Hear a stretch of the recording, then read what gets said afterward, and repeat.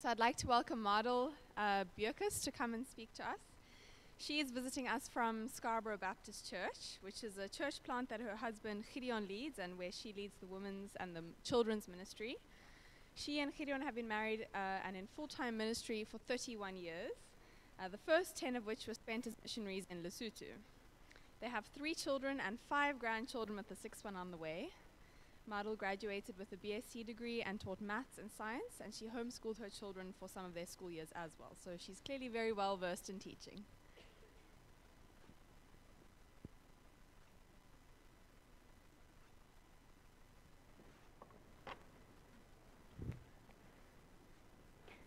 Thank you, Rebecca, and thank you for inviting me.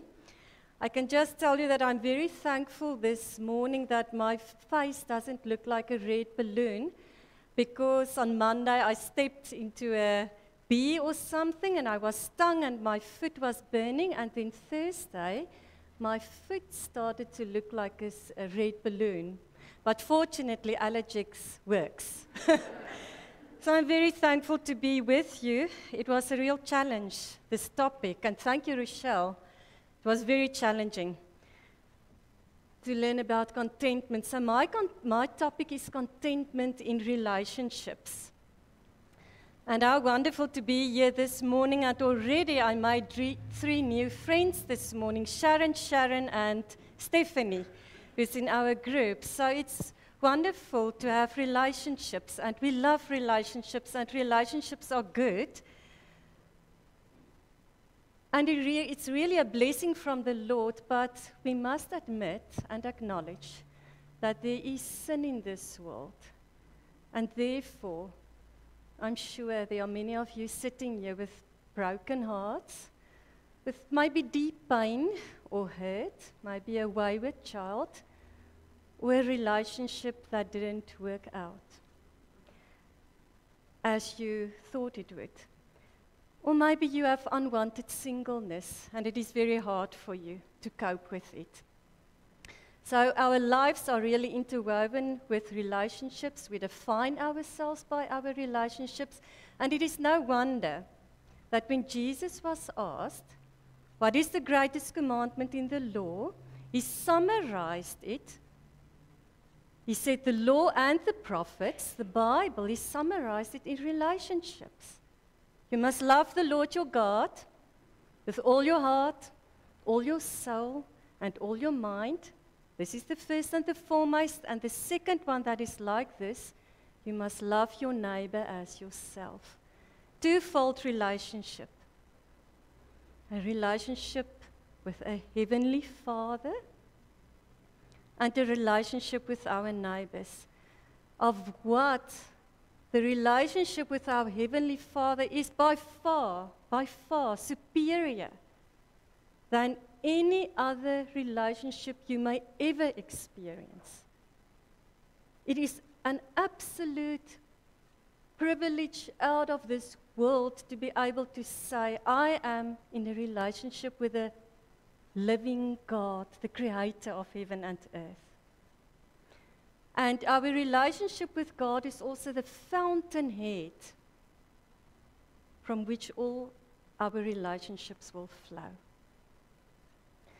And therefore, we can describe Christian contentment by saying it is a deep peace and satisfaction that you have to know that I have a heavenly Father who loves me and who cares for me He's on, in control of my life, and I submit to His will for my life.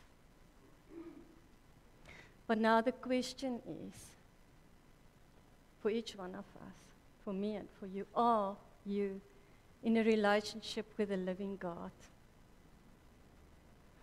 Did you confess your sins and accepted Jesus Christ as your Savior?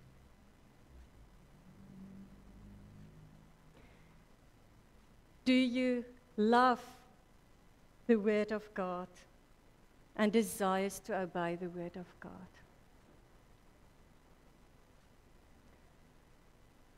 So I will share with you my testimony because I'm in a living relationship with the Almighty God, and I praise and thank the Lord that I'm able to say that.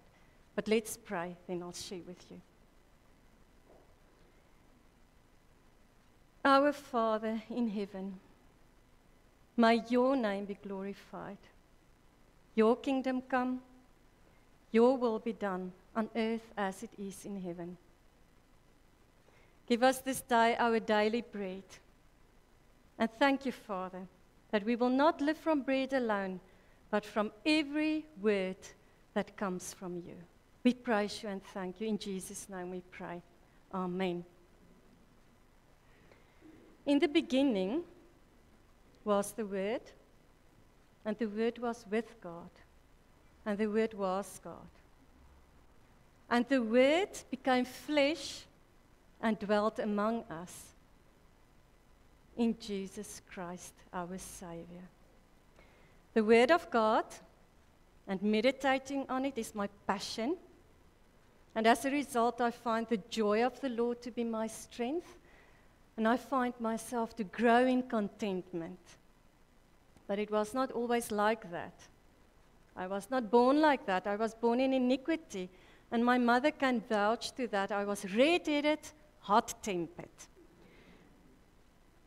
And even though I'm very thankful to my parents for my upbringing, they couldn't give me faith.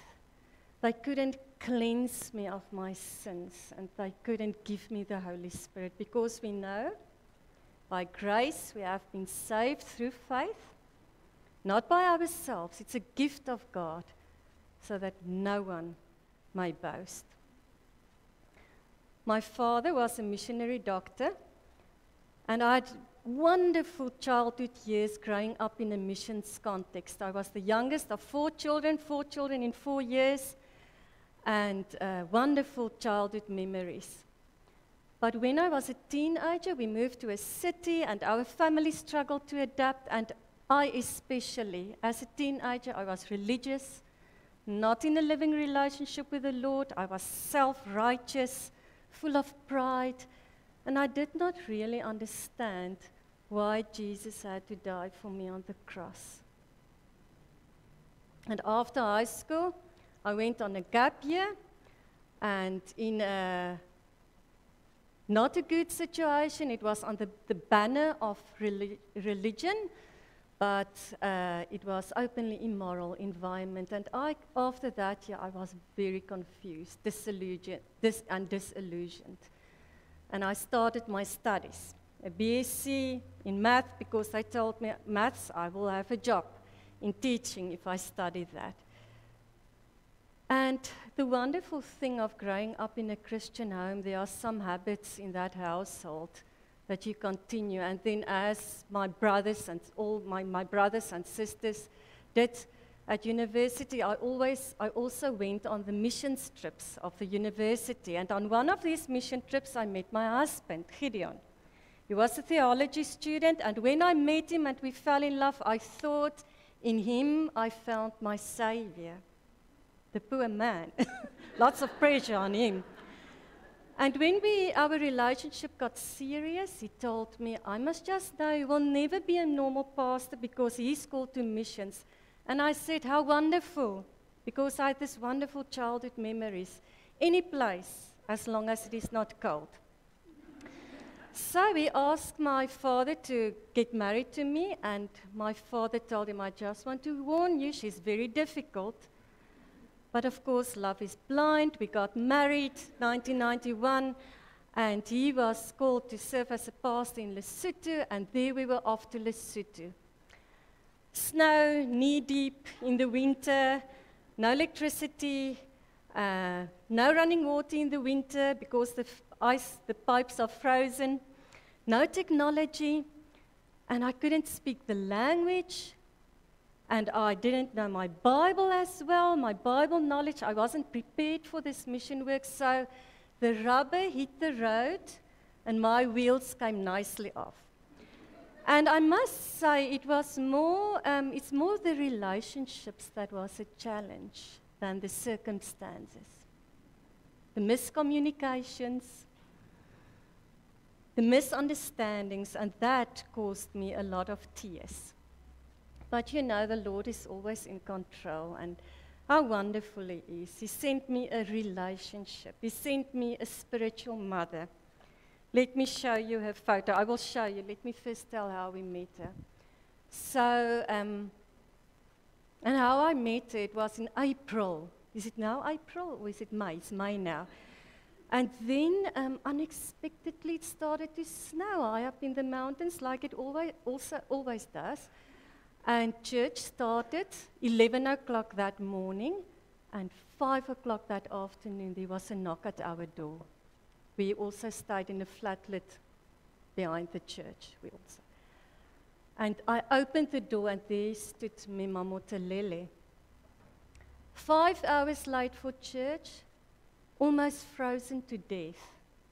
And the first thought I had in my mind is this woman has all the reason in in the world to be discontent, to be upset. She's five hours late for church, and the, but the first thing she told us is, Please come with me into the church.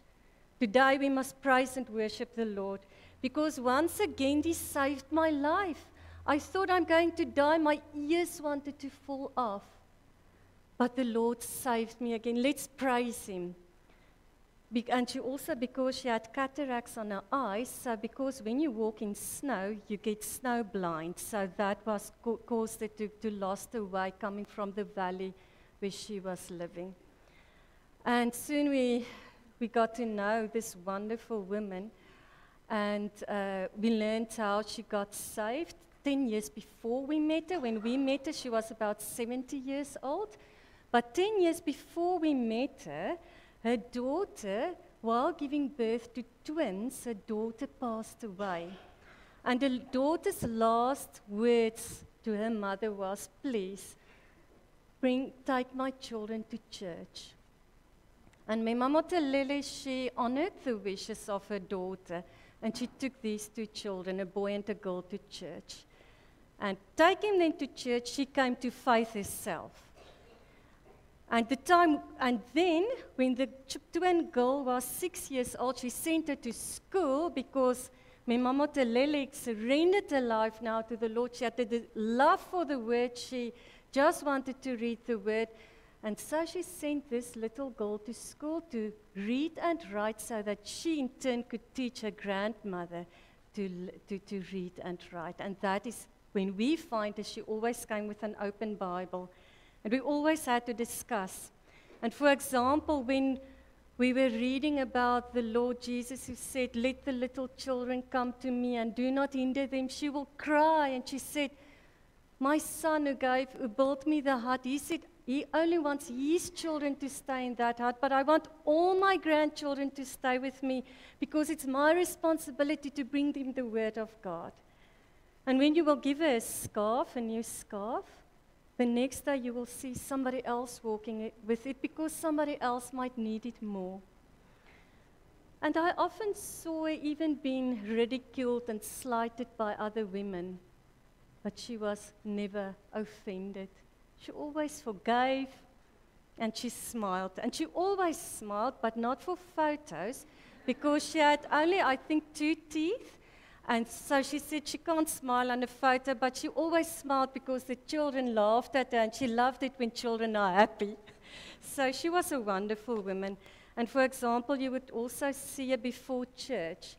She would come to church from the valley, and then you, she will walk around the church pulling out all the weeds so that it can look beautiful for, to everybody else. I will just quickly jump forward. She passed away in 2001 at, at a funeral and she was lowered into the grave, there was an outburst of praise and worship because they said she's now going to her Father and the Lord whom she told us about. And then something that she does not know about, and that is three months after her death, a Sangoma came to the church and she came to Gideon, a Sangoma, and she said, Oh, here's a glass of water. This one, because I'm not going to use it. Sorry. Sorry about that. So the Sangoma came and the Sangoma said, I want to be a Christian. I want to be a follower of Christ. And Gideon said, What happened? Was it an outreach? Was it a sermon? And so she said, For 20 years, I observed this woman, Mimamotelele. She passed my huts many times. She went through many trials and tribulations. She was always the same. Her God is the true God. So, but meeting Mimamotelele and her being in my life, I used my Sesotho Bible to learn to speak Sesotho and reading with her and the other women. I fell in love with the Word of God. But still, I did not really understand why Jesus had to die for me on the cross. My eyes were not quite open. But then the Lord provided another friend, and she's here this morning, my friend Jenny. She came all the way from Cape Town. She's there with a red coat. Put up your hand, Jenny. so she came to Lesotho high up in the mountains, and she spent a week with us, and she trained me in child evangelism and how to evangelize, to evangelize children. And as I was preparing to share to children and how to meditate scriptures, I remember one evening I just started to cry. And it was my time alone with God, where I had to confess my sins, my pride, my self righteousness. First of all, I had to understand who God is. He's holy, holy, holy, holy. Lord God Almighty, was, who is, and who is to come, holy. He desires a relationship with me, but I'm un- unholy. I fall very far short of the glory of God. We all have been foolish ourselves, disobedient, deceived, enslaved to various lusts and uh, pleasures. Um, enslaved to various lusts and pleasures, spending our lives in malice and envy, hating, hateful, hating one another. But when the kindness of God, our Savior, and His love for mankind appeared, He saved us, not on the basis of things that we have done in righteousness, but according to His mercy, by the washing of regeneration and renewing by the Holy Spirit that He has given to us through Jesus Christ our Lord, that was poured out into our lives through Jesus Christ our Lord, and that is Titus 3, verse 3 to 7. I had to realize how far I fall short, but how God loved us so much that He gave His only Son. That if we believe in Him, that we will not perish, but that we will have everlasting life. I had to repent of my sin. Jesus Christ came willingly, Son of God, completely man. He died. He rose again. He ascended to heaven. And if I believe in Him, if I accept Him, I can become a child of God. And if I confess my sins, He's faithful and just. He will forgive me my sins and cleanse me from all unrighteousness. So I had to ask forgiveness for my sin of pride, my sin of self righteousness, pointing fingers to others instead of pointing my fingers, fingers to myself. And I do praise and thank the Lord. Soon after that, I was baptized as a believer. And I received the Holy Spirit. The love of God has been poured out into our lives through the Holy Spirit that was given to us, the love of God. And I can say that I'm very confident of this that He who started the good work within me, He will complete it on the day of Christ. But it is a hard work, it's a difficult work in this, in my life, and the Lord is busy working in my life. And I praise the Lord that He predestined me to be conformed to the image of his Son, the Lord Jesus Christ. To take up my cross, to follow him. To take my, up my cross, it means to die of myself. I must become less, and he must become more. Another interesting thing coming back to relationships is that these tools that the Lord is using in our lives to form us, we are the temple of the Holy Spirit. It's a hard work, it's a great work. It took seven years to build the temple with how many thousands of people to build the temple. Now we are the temple of the Holy Spirit. It's a great, it's a big work. And the Lord has His tools that He's using in my life and in your life. And so, interestingly enough, these chisels and hammers that He uses in our lives are most often those relationships, uh, those very difficult relationships, or the people, the women who criticize us, or slander us, or emails that are written about us. All these things are the tools that the Lord is using in our life. And therefore, what do we, are we thankful for these chisels that are forming us into His image? No, we can say, Thank you, Lord, that you taught me another lesson in humility. Thank you that you taught me another lesson in being unoffendable as a Christian. Yeah, praise the Lord, because we don't only exalt in the glory of God, but we also exalt in tribulation, because tribulation brings about perseverance, and perseverance, proven character. And proven character, hope, and hope doesn't disappoint because the love of God has been poured out into our lives through Jesus Christ, our Savior. So we are conformed to the image of Christ. Let's go to Jesus Christ. His relationships. Love the Lord your God with all that your heart, all your soul, and all your mind. Love your neighbor as yourself. Jesus came willingly to this earth. And Jesus, his Father, said of him, This is my beloved Son with whom I'm well pleased, no sin. Listen to him. And Jesus, of his Father, he said, The Father and I are one. If you know the Father, if you know me, then you will know the Father. And I only do the will of my Father. That is my desire. And when Jesus was in the Garden of Gethsemane, he was in great anxiety, anxiety that none of us ever experienced. His blood became sweat. Ach, his sweat became blood. Oh, yeah, no, blood came out.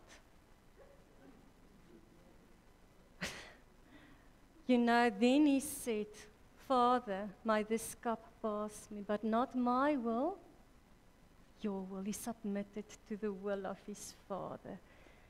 He loved his father. His father loved him, perfect love. And when it comes to love the neighbor, you know, Jesus, we love to be defined by our relationships. Like I know Sharon and I know Stephanie, they are my friends. But Jesus was said to be a friend of sinners and tax collectors. And he loved his enemy. God demonstrated his love to us that while we were sinners, God, Christ died for us on the cross. Jesus touched the lepers and he embraced the children. He had compassion on the crowds. He fed the thousands, gave sight to the blind, raised the dead and the good news was preached to the poor. He had compassion on the crowds, and when he entered Jerusalem, he wept. He said, I wish I could gather you, my children, under my wings as a hen gathers her chicks. He wants to protect us. Come to me, all who are weary and heavy laden, and I will give you rest. Jesus, Jesus, our Savior. And then when he entered Jerusalem, put his face like flint entering Jerusalem to die for our sins. He lived and died for our welfare when he went to Jerusalem, and the crowds called out, Hosanna, Hosanna to the Son of David, Blessed is you, come in the name of the Lord. And a few days later, they said, Crucify him, crucify. They put a crown of thorns on his head. They stripped him. They beat him with a reed. They mocked him.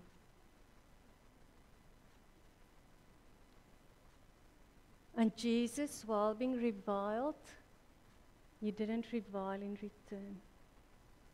And while he suffered, he uttered no threats.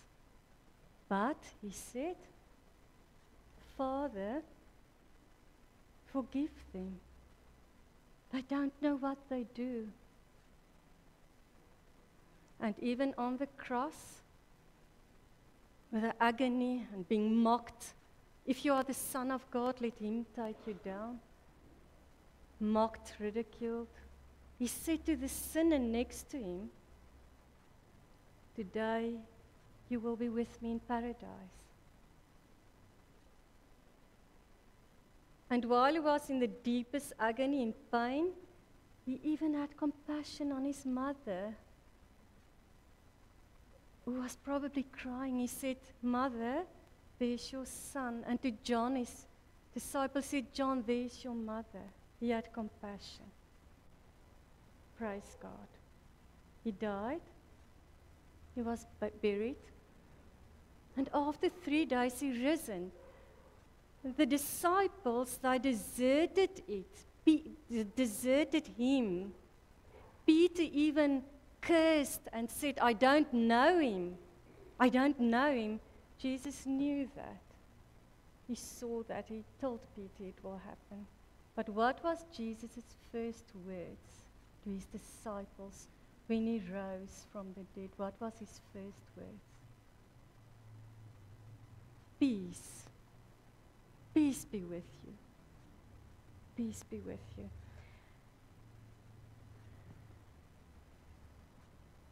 And Jesus also said, He breathed on, him, on them and He said, I give you my Holy Spirit.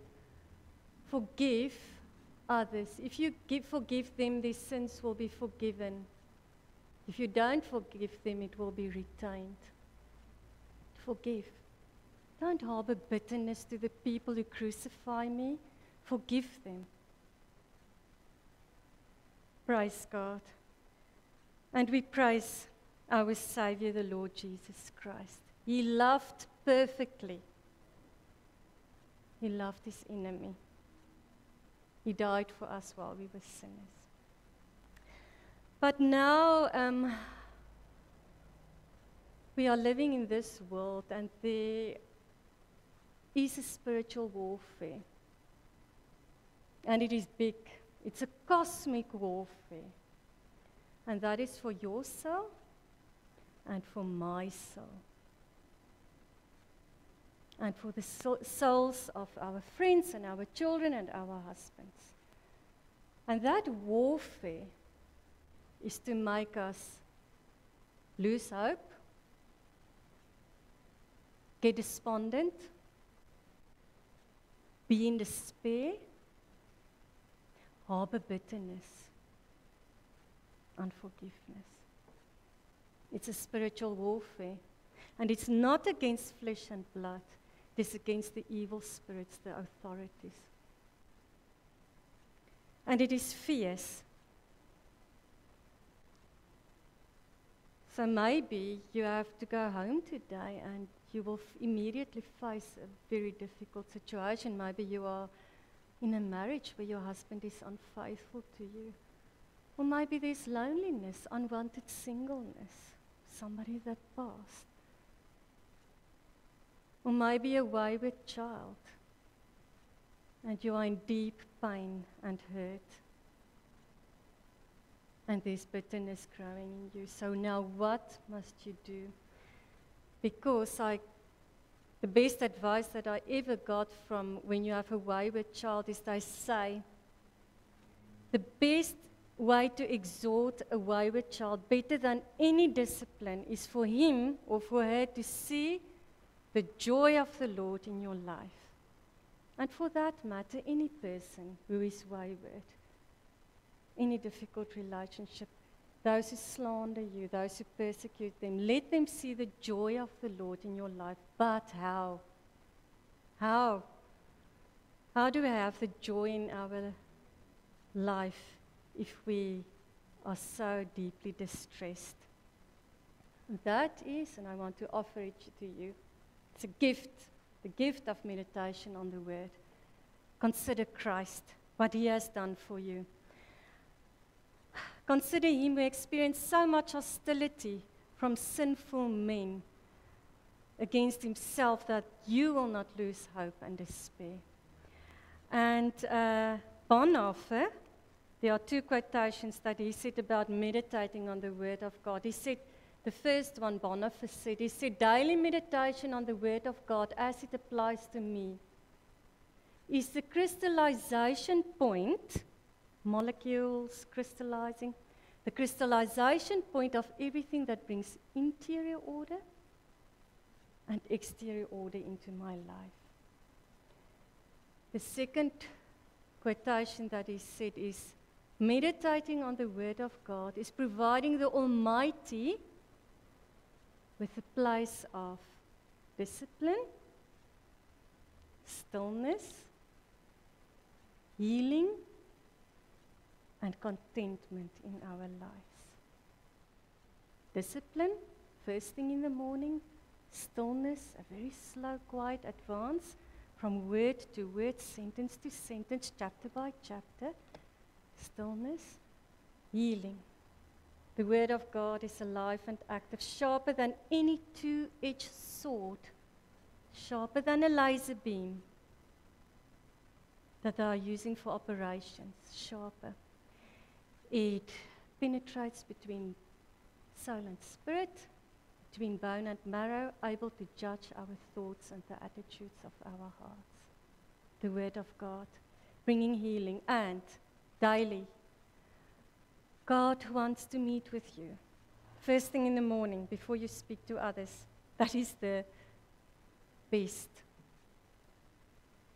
Daily wants to meet you because he wants to comfort you. He wants to help you. He wants to encourage you. The God of all comfort, who comforts us in every situation, so that we in turn can go and comfort, help, encourage others in the way that He encouraged us. I come to a close. I see my time is, I'm quite out of time here. Just a very last verse that I want to, to share with you, and that is um, with healing. It is a beautiful verse, Psalm 31, and it is verse 19 and 20, and it says, Those who fear God, those who take refuge in Him before the sons of men, He will hide them in the secret place of His presence. Meditate on that. He will hide you in the secret place of His presence. We have a Heavenly Father, contentment. That is what contentment is. We have a Heavenly Father, and we pray to a Heavenly Father that cares for you, that loves you, and that has your best interest in mind. Sub- and we can submit to His will. And so, therefore, the challenge this morning is love the Lord your God with all your heart, all your soul, and all your mind. This relationship is far more superior than any relationship you can ever desire here on earth. And from your relationship with God will flow. It's a fountainhead of all relationships. And as Rochelle also said, I want to invite you this morning if you want to come and speak, or if you need prayer, or if there's somebody that you need to forgive. Christ has forgiven you and me of so much. And if there's somebody that we need to forgive, that we will also give that forgiveness to them. Or if you need prayer, If you want to be in a relationship with the Lord and if you struggle or if you suffer, please come. Speak with us and pray for us. Or find a woman in your church tomorrow when you come to church and ask Can I meet with you? Can we pray? Let's pray. Our Father in heaven, we praise you and thank you. Thank you that we can call you our Father,